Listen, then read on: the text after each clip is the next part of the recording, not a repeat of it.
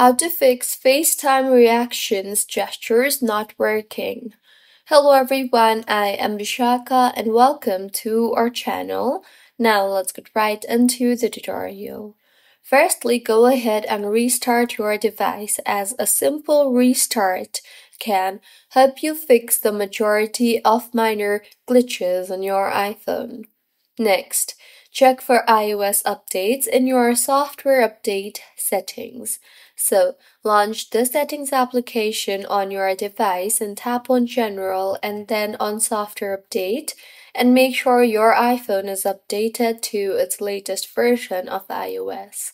The latest version is crucial in maintaining optimal performance. Also, in general itself, scroll down and tap on transfer or reset iPhone, and then on reset and then on reset all settings. Enter your Face ID or passcode and reset all settings. Doing this will reset all settings, nevertheless, none of your data or media will be deleted.